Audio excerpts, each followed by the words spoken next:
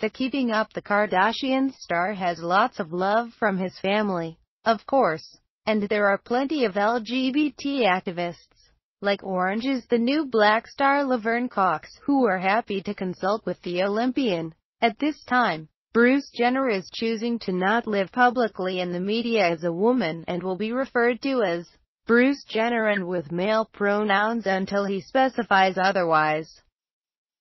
Since then, Laverne has gone to speak to a few members of the family. She told E!